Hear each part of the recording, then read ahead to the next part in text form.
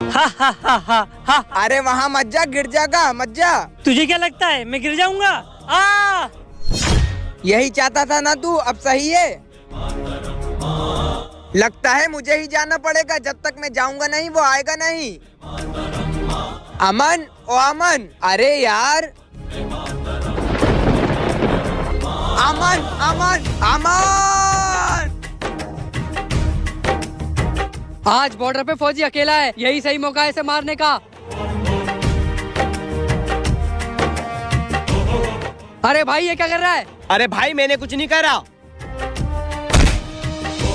अरे क्या कर रही है? मैंने कुछ नहीं करा भाई। अरे भाई मुझे क्यों मार रही है? भाई भाई भाई।